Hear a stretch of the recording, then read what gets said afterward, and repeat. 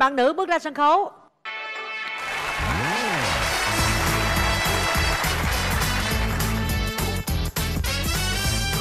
Rồi mời em gái ngồi.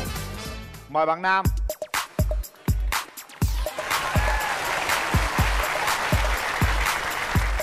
Mời đi bạn. Rồi chúng ta giới thiệu về bản thân mình trước đi em. Xin chào chú Cát, chú Quyền Linh và chị Cát Tường, à, bạn Nam và toàn thể quý vị khán giả. Em xin tự giới thiệu, em tên là Trần Thị Cẩm Trinh, à, sinh ngày 0403 1993. À, hiện tại em đang làm à, nhân viên trong một phòng khám tại Đồng Nai ạ. à, mình sống và làm việc tại đồng nai luôn hả em Dạ đúng rồi. quê mình ở đâu Quê bố má em thì ở Ninh Bình. à làm ở phòng khám là em làm cái khâu nào Em là bên à, dược sĩ ạ. rồi mời bạn trai giới thiệu Dạ, chào anh Quyền Linh và chị Cát Tường ạ. Chào bạn gái bên kia. Em là Phạm Quốc Thiện, hiện tại đang sống ở Bình Dương, làm là kỹ sư ờ, công nghệ thông tin bên Tân Bình ạ. em là bao nhiêu tuổi nha Dạ, em sinh năm 91 ạ. 91 bên kia 93 trai lớn hai là tốt rồi ha rồi em gái những cái à, ưu điểm và khuyết điểm của em thế nào Tự tin ạ, làm hết sức, chơi hết mình ạ. À, ưu điểm đó là thích uống trà sữa. cái đó ưu điểm á hả à, à, ai phong cái đó là ưu điểm gì? Em cảm thấy giúp ích được cho rất là nhiều người. Khi mà mình uống là mình à, giúp đỡ cho cái người bán à, tăng doanh số. À Dạ. hay hay cái đó là ưu điểm. Uống trà sữa là giúp người bán tăng doanh số đó là ưu điểm. Hay hay. Và một cái nữa là em có thể ăn được à, rất là nhiều. Ví dụ như là đi ăn hay là uống trà sữa với à, bạn bè thì à, bạn ăn ăn hết thì à, có thể em ăn. Ăn luôn phần bạn luôn. Đó là ưu điểm ha không có làm mà phí của trời có Dạ. nhiều là ăn sạch dạ đúng rồi vậy có khuyết điểm gì không em dạ có em có thể em hơi à, thẳng tính nhiều khi em thẳng tính và một chút nóng tính nữa làm cho nhiều khi cái cái cái cái cái miệng đi trước cái não á. rồi bạn trai ưu điểm khuyết điểm là gì Dạ, em có ưu điểm thì là suy nghĩ tiến bộ và có thể học hỏi. Cũng có suy nghĩ tích cực nữa. Rồi ờ, em cũng thích chơi thể thao nữa. có cái tật xấu gì không Hơi nhát gái. nhát gái nhiều có mấy mối tình rồi Dạ, hai mối tình ạ. nhát gái cũng được hai mối tình ha mối tình dài nhất là bao nhiêu năm Dạ, cũng hơn một năm ạ. còn mối tình mà ít nhất chắc vài tháng hả Dạ đúng rồi. trời ơi vậy là cũng chưa yêu sâu sắc lắm đúng không Dạ. Một Mà thời em gian em thì em mình nhắc không có gái hợp là làm nhau. sao em cua gái được làm sao em quen được cái bạn người bạn đó Em thì nhát gái em toàn quen qua mạng ờ, lúc đầu quen qua mạng không à. à Chứ ờ, thực tế bên ngoài thì coi như À, nói chuyện chưa. trên mạng một thời gian rồi mới dám gặp chứ đầu tiên là không nhìn thấy con gái là không có dám tới cua đúng không? Dạ đúng rồi. Và À. em thấy là cũng khó rung động đó ví dụ như gặp con gái mà đẹp thì cũng chỉ nhìn đẹp thôi nhìn một hai lần thì cũng chưa có cảm xúc gì. Hả? Không có cảm xúc với gái đẹp hả? Kỳ vậy?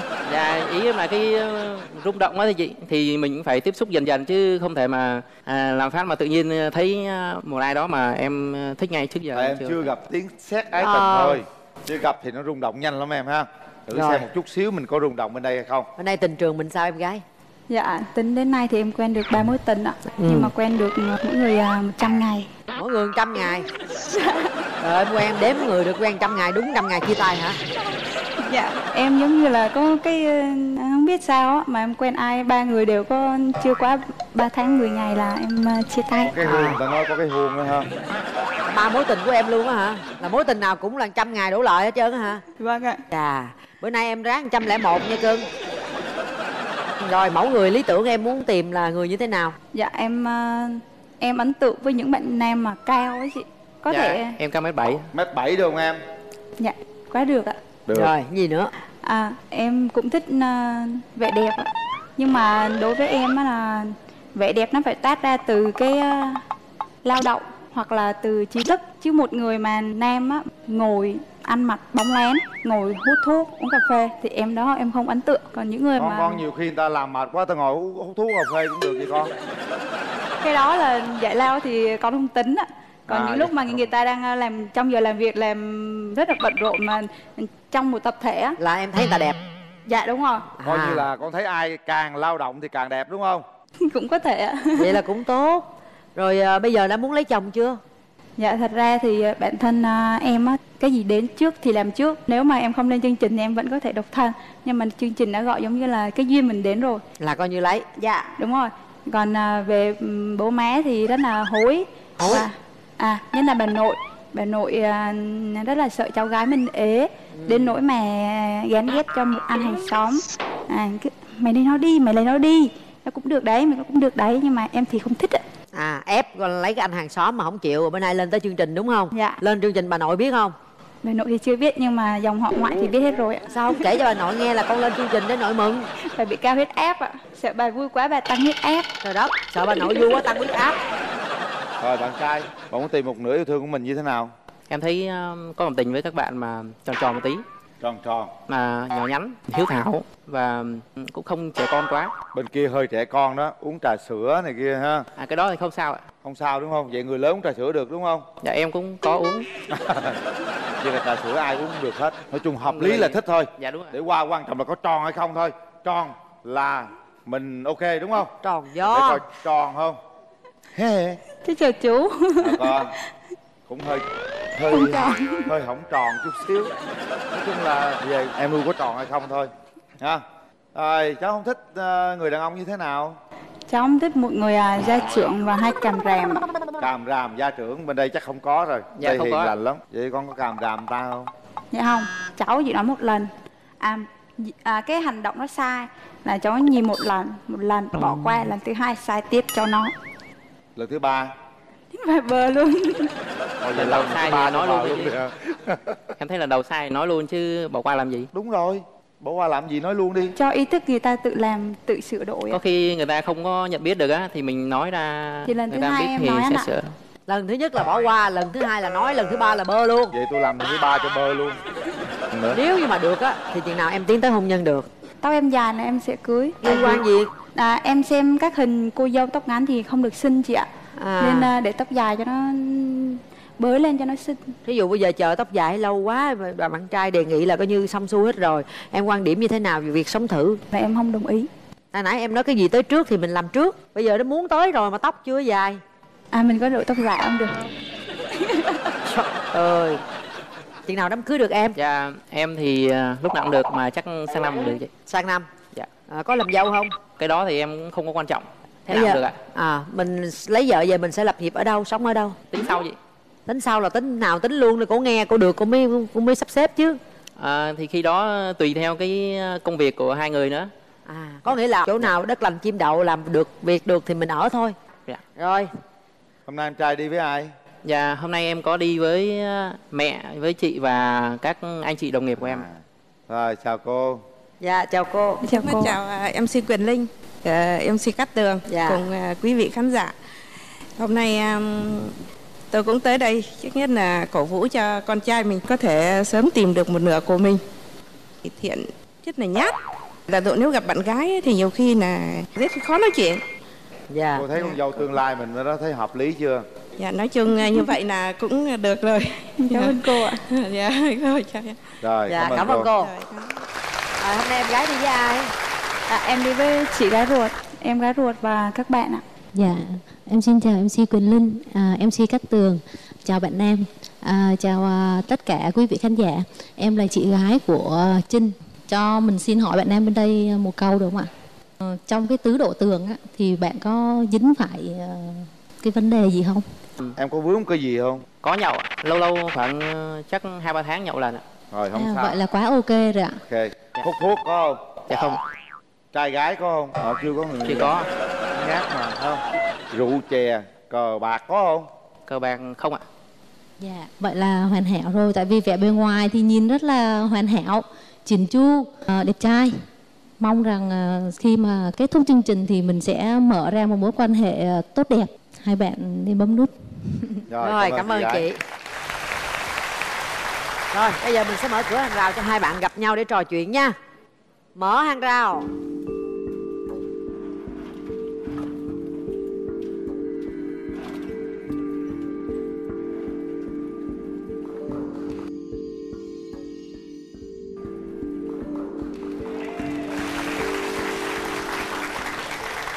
à, anh có món quà này muốn tặng em? Dạ em cảm ơn. Em cũng có món quà tặng anh ạ. À cảm ơn em.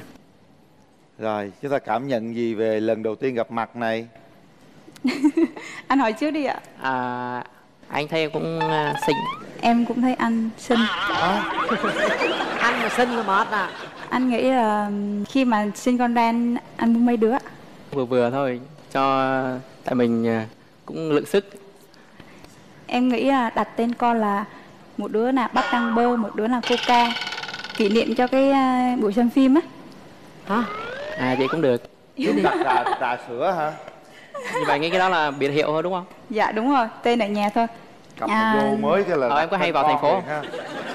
em ở khúc nào nhỉ? Em ở gần cuối đồng nai ở chỗ định quán á. Anh có hay qua chỗ đó không ạ? Anh thường thì chỉ qua biên hòa thôi. Chỗ có mấy tảng đá đó em. Dạ đúng rồi đấy chú ạ ngay À. à, đá ba chồng. Nhà em thì ở gần cái khúc đó. À thế cũng gần mà. Anh ở bên chỗ Dĩ An anh nghĩ là một tuần anh có thể chúng mình hẹn hò được bao nhiêu lần ạ? À, chắc khoảng hai lần. Một lần giữa tuần lần cuối tuần. Tuy nhiều đấy nhở? Thấy thế cũng bình thường mà. À, trong gia đình thì ai nên là người à, nắm tài chính ạ? Anh chưa nghĩ đó nữa. Mình nên công bằng ha. À, khi mà hẹn hò thì em nhường anh còn khi mà về nhà rồi thì à, về phần chi trả nhường em. Anh thấy làm sao? Chưa đấy được. Anh có gì muốn hỏi không ạ? À, có có rung gì chưa? À có rung em thấy cũng à, hơi rung rung. Mới vô cái hỏi đẻ con đặt tên con luôn rồi. Choáng quá. À, tí nữa em có rảnh luôn không? Dạ có ạ em nghĩ à, thế tí nữa mình đi xem phim luôn đi. Vậy là bấm nút rồi hả? À không à, đâu có vé đâu xem phim. Ờ, có chương trình tặng mà em thấy có mà. Đâu? Cái đó bấm nút mới tặng không bấm đâu có tặng. Ờ, hai bạn chia sẻ món quà của hai bạn tặng nhau là cái gì vậy? Tặng đó thì à, cái cục gấu đó thì mình có thể ôm hoặc là gối đầu cũng được. Còn sô cô la thì ăn cho đỡ nhạt miệng. Miệng em nhạt lắm hay em em cũng à, hơi nhạt. Sô cô la người ta ờ tặng đó là ý nghĩa của tình yêu hay là cái gì đó một sự bắt đầu của tình yêu. Ăn sô la cho đỡ nhạt miệng. Miệng tôi đâu có nhạt. Còn em tặng sách gì cho ảnh vậy em? À, cuốn sách đó tựa đề là ngày xưa có một chuyện tình. Ý nghĩa là do cái tựa đề nó rất là ý nghĩa. Anh thì cũng thích đọc sách. Mấy chuyện mà ghiền quá là một đêm một cuốn luôn. Bây giờ bạn gái hát tặng bạn trai một đoạn bài hát nào cho bạn ấy bình tĩnh lại đi thấy bạn hơi rung đấy. Dạ. Nào ta bấm bấm bấm bấm bấm. Nào ta yêu yêu yêu yêu yêu. Và mình cười cười cười cười cười. Hết rồi ạ. Vậy? Hả? Nào ta cùng bấm bấm bấm bấm bấm. Ta cùng yêu yêu yêu yêu yêu. Ta cùng cười cười cười cười cười. Đơn giản vậy. Bài hát em sáng tác đó hả? Nhạc bài thì hát thật là sâu xa và ý nghĩa đó mà. Thôi bây giờ vậy. Nhát gái phải không? Đứng lên cho cơ hội nắm tay nhau một cái rồi tỏ tình cái rồi quyết định bấm nút nè ngồi nhìn nhau hoài mất thời gian quá. Cười không hà. Rồi nắm tay nhau. Ráng nhìn sao cho rung đi. Anh hơi run. Nói cái gì đó với cổ đi. Cổ Em thích à? lãng mạn lắm cổ đọc chuyện Không, này em kia không à. anh cũng thấy bình thường. Em nói gì với cổ đi? Rồi nắm tay cổ À. nói cái gì đi? Thì ờ, hôm nay gặp nhau đây cũng có duyên rồi. Ừ, và anh thấy em cũng xinh. À, ừ, thì bấm nút nha. Rồi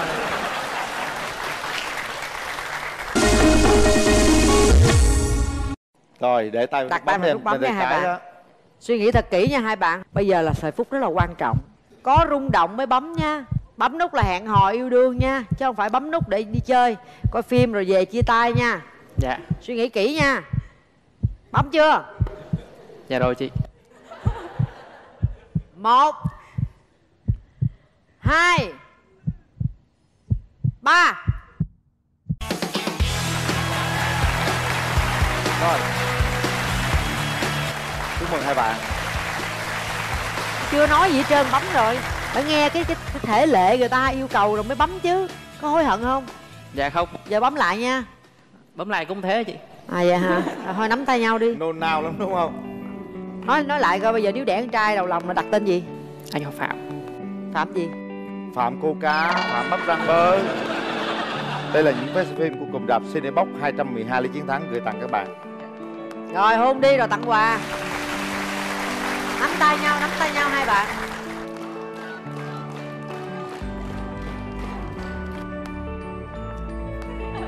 Trời ông hôn mà ông dán tóc ông chép chép trước nè. Gì vậy? Ê, ừ, mạnh mẽ lên.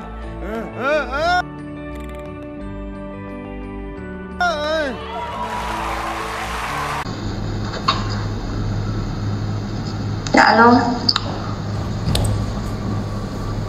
rồi mời em giới thiệu bản thân ha em giới thiệu họ tên công việc uh, của Dạ, à, em xin giới thiệu em à, họ tên em là Bùi Thị Duyên ạ. Em sinh ngày 10 tháng 9 năm 91. Hiện tại em là nhân viên văn phòng chị. gọi gọi bằng điện mình thoại hiện tại chị em quê ở đâu đang À, quê quán của em thì là ở Nghệ An, còn hiện tại em đang làm việc ở Sài Gòn. làm ở đâu em chị cho nghe rõ làm việc ở đâu á? Dạ, quê quán em ở Nghệ An, còn hiện tại em làm việc ở Sài Gòn đó chị. Tại cái Ừ. hôm nay em đang hơi mệt đó, nên cái cái giọng em nó hơi bị khàn đó chị. à rồi không sao. Rồi bây giờ em chia sẻ giùm chị ha. Cái điểm yếu của mình và cái của em. Em cố gắng em chia sẻ cho nó cụ thể giùm chị nha. Đừng có nói chung chung kiểu như mình trả lời qua loa. Mình trả lời cho nó ừ, giống như để tụi chị hiểu em như thế nào á nha rồi chủ động chia sẻ giùm chị ha. À, điểm mạnh của em á là em ờ, em là một người ờ, sống à, sống tình cảm. À, em rất là thích uh, mấy cái hoạt động nhóm thích uh, thích đi chơi thích du lịch. Uh, ta? À, nói chung là em thích hoạt động vui vẻ thì còn ờ, điểm yếu của em là em ờ, rất là hay ờ, em rất là hay ờ, dễ bị cảm động ờ, không kiềm kiểm xúc kiểm soát được cảm xúc như là hay khóc rất là dễ bị khóc. Vậy thì nghe rõ không chị? Rồi mọi người vẫn đang nghe mời em tiếp tục ha. Dạ. mình chủ động đường tình duyên của mình như nào luôn Dạ, đường tình duyên của em là từ hồi ờ, từ hồi bé tới giờ. Nói chung là từ từ từ lúc uh, từ hồi 23 tuổi tới tới giờ là em chỉ quen một người uh, 7 năm và chia tay cũng được uh, nửa năm rồi á chị. Ở hiện tại thì uh,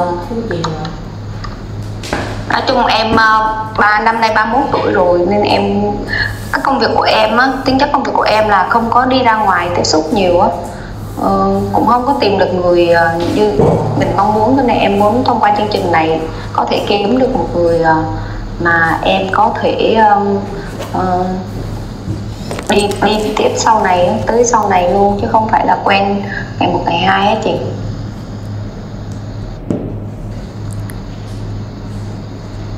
Em rồi nhưng mà lý do tại sao chị thấy em cũng xinh xắn dễ thương mà mình không tìm được bạn ở bên ngoài?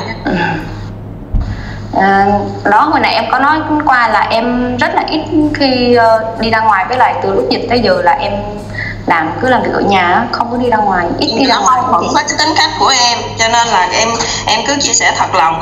Có nghĩa là em nói em rất là là thích giao lưu kết bạn rồi mà nếu chị nghe không làm. Nhưng mà Đúng cái, không? Em- ý là giao lưu kết bạn là một chuyện nhưng mà cái người mà mình thích á thì không không không không không có em không có hài lòng á chị. Ví dụ ờ, người mình thích thì ờ, có nghĩa là Thì- em gặp thì- rất nhiều người nhưng mà những người đó lại không có đúng được cái đối tượng của mình đó đúng không? Dạ đúng rồi không có đúng gu có á nghĩa là em vẫn gặp được rất nhiều người. Dạ đúng rồi dạ đúng rồi kiểu À. vậy á kiểu vậy á chị. chí của em thì sẽ khó ở cái điểm gì mà các cái anh mà em gặp nhiều như vậy mà em không thấy chọn được anh nào Ừm, đầu tiên là về ờ, tính cách thói quen thói quen ờ, sự nghiệp đó chị. Dạ. Cái à, em ờ, không thích ngựa à, em đầu tiên tiêu chí đầu tiên của em là ờ, không biết hút thuốc. Tại vì em không có ngửi được cái mùi thuốc lá thứ hai là em rất thích ở trong Sài Gòn nên là em cũng kiếm người ờ, có sẽ ờ, tính ở Sài Gòn luôn người ở tỉnh cũng được nhưng mà À. phải là ở Sài Gòn. thích gặp nhiều ở Sài Gòn đúng không? Ừ. dạ đúng rồi. Không hút thuốc rồi không hút thuốc. À, nói chung cái tiêu chí của em có lẽ theo như mọi người bên ngoài nhận xét thì là hơi cao. Cho nên là em cũng khó tính lên cao có nghĩa là em phải nói đi để chị thấy nó cao chị mới hợp lý. Nãy giờ không hút thuốc rồi sống ở Sài Gòn nó quá bình thường. Đâu Dạ. đâu cao. Ờ, không quá không có gầy không có không quá gầy. Mập thàn mập còn được không có gầy nha. Xong Tốt táo cỡ ai? Người mẫu hay hoa hậu hay là ai mà em thích em có thể đưa ra. Ví dụ tướng quá em phải thích như anh Bình Minh hay ai Dạ không. mà khó dạ không không không cần không cần thiết như người mẫu đâu chị ơi. Nói chung mà đừng có gầy đừng có ốm quá đừng có con cô mà nó theo kiểu khó hình dung. Đừng nói là không ốm quá cũng không quá mập chị đó là thì em thì em đang nói tiếp này chị. Em đang nói tiếp này dạ ý là cao phải một mét bảy tầm khoảng một mét sáu năm trở lên không có dưới 50 kg rồi tiếp đi. Đi tiếp. Chị thấy em khó. Chị vẫn chưa thấy em khó. dạ có sự nghiệp ổn định có nhà cửa ở Sài Gòn rồi. Ờ, hai trăm tức là miếng ờ, em ờ, với lại em chọn kỳ tuổi nữa. Em kỳ ờ, em kỳ sinh năm 88 với lại em không thích người ít tuổi hơn. Phải 90 trở lên á.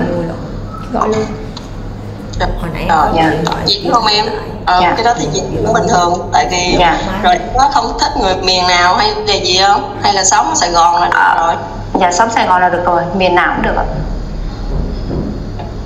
Với lại em ờ, chịu làm dâu. Dạ? Em chịu làm dâu không? À quên cái điểm này. Ờ, Làm dâu thì nói chung em vẫn thích sống riêng hơn Vẫn ưu tiên sống riêng hơn Nhưng mà nếu mà kiểu mình hợp với ờ, mẹ chồng, ba chồng hay nói chung gia đình bên chồng thì làm dâu cũng ok ạ. Quan trọng là mình hợp hay không thôi. Thì bây giờ muốn hợp hay không em cũng phải tìm hiểu rồi em qua nhà người ta chơi từ từ hiểu không? Được không? Dạ. thì trước Dạ. mắt là mình cứ đi. Hay là hay là quyết định luôn là không? Đó. Còn nếu mà theo cách em nói nếu ba mẹ họ ok thì em vẫn làm dâu được đúng không? Dạ. Ờ. Nhưng mà lên nếu mà tham gia chương trình ghi hình thì em có thẳng thắn để em chia sẻ ra những cái điều như vậy không Dạ có chị. Ừ. Dạ. rồi có, em có tài lẻ gì không? Em à, em tài lẻ Em biết vẽ à, biết biết hát một chút. Với lại em à, biết nhảy à, đang học võ đang học boxing các kiểu. Nói chung là em thích à, mấy môn thể thao. Ừ. Là võ em đang học võ gì? Em học boxing thôi chị ơi. À boxing. Còn nhảy là thể loại gì em? Dạ em à, cũng nhảy K-pop hay là đó em cứ đi đăng đăng ký học lớp nhảy được hơn một năm rồi. À là vẫn còn đang nhảy duy trì đúng không? Dạ dạ em tập thôi chứ không phải là đi diễn hay là này kia đâu. À. Dạ. Rồi em có khiêu vũ được không?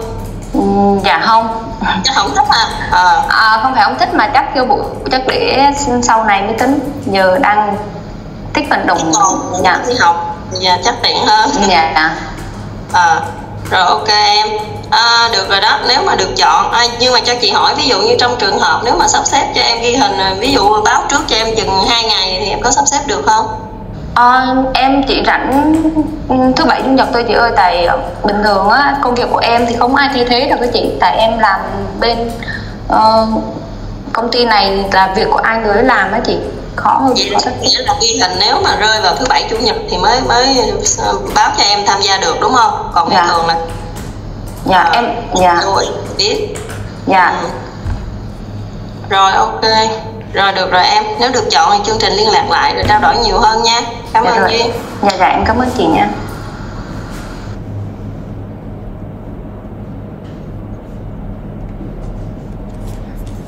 hình như là bạn này cũng vào ờ, dạ, để giới thiệu bản thân mình ha họ tên công việc quê quán À, dạ em tên là Đinh Ngọc Thảo Vi ạ. À, công việc của em là dược sĩ, dược sĩ nhà thuốc đó chị. Dạ. À, quê quán là dạ. À, à, hiện tại thì à, gia đình em sống ở tại Lâm Đồng, người thứ hai Đà Lạt Lâm Đồng. Là em làm ở Lâm Đồng luôn Dạ không, em làm ở thành phố Sài là thành phố Hồ Chí Minh ạ. thường mấy người mà em Dạ, mới công việc của em thì à, là nó, nó không có em cho vô tại thì liền Thạnh nào ạ. Tại quận Bình Thạnh. là em tạo rút xong mới cho em làm nhà thuốc cho giống như mình bán thuốc cho người ta hay là mình mọc Dạ, em bán thuốc cho người ta, chị. em là nhân viên á. Gì ờ, ý là em Ừ. điểm danh vào lúc nào? Rồi thêm hả? em sinh năm bao nhiêu? Ừ, Dạ, em, không có cho phải thêm ờ, ngay từ đầu năm luôn á. 95 ạ. vô hoặc là kết thúc cái đoạn chat này thì mới rồi em giới thiệu một chút điểm mạnh điểm yếu của em nha. Dạ điểm mạnh ha dạ vui vẻ hòa đồng. À, nói chung là trong trong công việc thì rất là nghiêm khắc. Nói chung là em là con người có tinh thần và trách nhiệm cao à, em cũng không có quá quá, quá cầu toàn trong công việc trong công việc trong công việc à, công việc khác khác. Thì nếu thì nói chung thì uh, nói chung là thời gian đầu thì em có vẻ hơi nhát nhưng mà nếu như mà uh, hơi nhút nhát ờ, khoảng thời gian đầu thì em có hơi nhút nhát nếu mà gặp người lạ. Nhưng mà sau đó thì vẫn sẽ thì chứ thì thời gian đầu thì em có hơi nhát nhưng mà nếu mà vẫn nếu mà à, uh, hơi nhút nhát thì, ừ. thì thời, em tính nhút nhát ở thời gian đầu thôi còn khi mà quen rồi thì em vẫn vẫn uh, thoải mái tập là cũng dễ điện giao tiếp với là quen em có hai mối tình rồi tại thì, sao chia tay? thì thì, thì à, em có hai thời gian đầu hai mối tình rồi thì cũng uh, dễ mà dễ dễ kiểu như là ta dễ dễ giống tay a uh, mối tình mối tình uh, uh, bởi vì uh, mọi hai bạn kể uh, ngoài quê còn một mối tình một mối tình hai vì anh muốn về tất em Ờ, em chủ động chia sẻ đừng chờ bên mình hỏi nha. Ví dụ chị chỉ hỏi em dạ. là trường thì em cứ chia sẻ thoải mái. Chia chia chờ chờ mình hỏi nha. Mình hiểu không? Hỏi nha. Dạ. chị chỉ dạ. hỏi em về tình trường dạ. chứ không phải chị hỏi em về tình trường thì em em cứ chia sẻ thoải mái nói càng chia sẻ thoải mái. Nhiều. À, trên sân khấu này nữa em thì hỏi nghe nói nha. Rồi chị hiểu em lý giải về em á. Tại sao tham gia chương trình nè? Rồi em chia sẻ về cái uh, cái cái cái lý do tại sao em không tìm được bạn trai ở bên ngoài mà phải tham gia chương trình. Đó. Rồi hình mẫu em mong muốn là như à dạ vâng. À, em tham gia chương trình là mong muốn là kết uh, kết thêm bạn nếu như mà nếu như mà kết được một người yêu mang về thì càng tốt. Tại vì á, là công việc của em á thực sự là em rất là bận. Uh, giờ giấc nó cũng không có kiểu như là ổn định. Tại nói chung là em đi làm ca là 8 tiếng một ngày. À, nhưng mà có điều là em lại là quản lý nên thành ra là công việc của em nó gắn liền với cửa hàng thời gian nó nhiều hơn là kiểu là thời gian cá nhân cho bản thân. Nên thành ra là em không có thời gian mà đi tìm hiểu hay là uh, làm quen với nhiều người. À, trong trong quá trình tiếp xúc đồng nghiệp thì vẫn có nhưng mà đa số là công việc của em là đồng nghiệp nữ thôi đồng nghiệp nam rất là ít.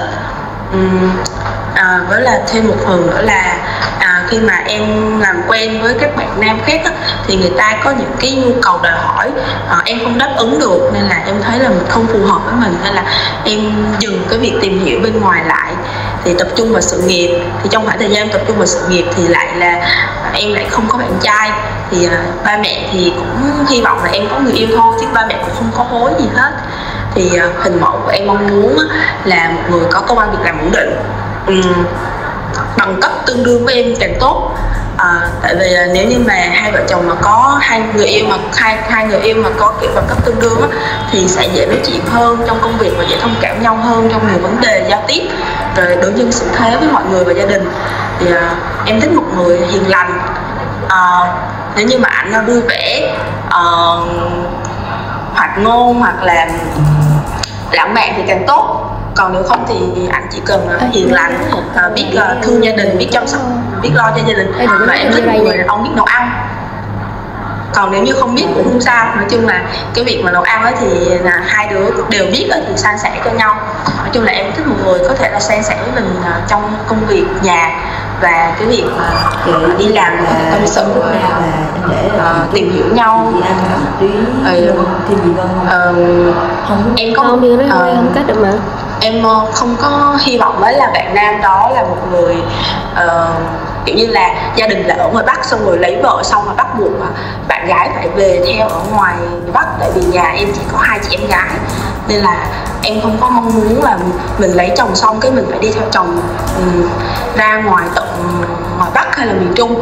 Ví dụ như là nếu như mà hai vợ chồng um, tới được như, em người yêu mà tới được với nhau thì em hy vọng là anh có thể là ở ở trong nam ví dụ ở sài gòn hai đứa đồng nghiệp trong sài gòn ở đây thì tốt. Còn nếu như mà bạn những bạn nào mà có mong muốn mà dẫn người yêu hay bạn gái về ngoài quê thì em chắc không phù hợp. Đó. À, em không thích những bạn nam có tính gia trưởng. À, nói chung là gì như thế nào? chung là vậy. Rồi công việc bạn đó thì sao em? Có nghĩa là em cũng thích người có cùng trình độ ha? Dạ đúng rồi. Còn nếu thấp hơn một xíu cũng được chứ cũng không nói chung là em là gì? Dạ em đại học tiến sĩ thạc sĩ dạ em đại học thôi chị. Dạ, em đại học dược thôi ạ. Ừ. thì uh, uh, nếu như bạn có cao đẳng cũng được không sao. Nhưng mà quan trọng là cái cách mà bạn ấy uh, giao tiếp với người khác đối nhân xử thế với là cái cái lời nói của bạn ấy trình mực có văn hóa là cũng rồi uh, uh, rồi uh, thì rồi em em độc thân nên là em cũng hy vọng là gặp một người độc thân. Nếu như mà uh, người đàn ông mà đã có một đời vợ cũng được nhưng mà nếu như mà chưa có con thì không sao. nhưng mà nếu như mà có con thì chắc lại không. Ừ, rồi được rồi em. Vâng rồi ok em được rồi ha. Phần cát của em xong rồi đó. Nếu được chọn chương trình liên lạc lại rồi hướng dẫn tiếp cho em nha. Vâng em cảm ơn chị. Ừ. à, chị. Em kết thúc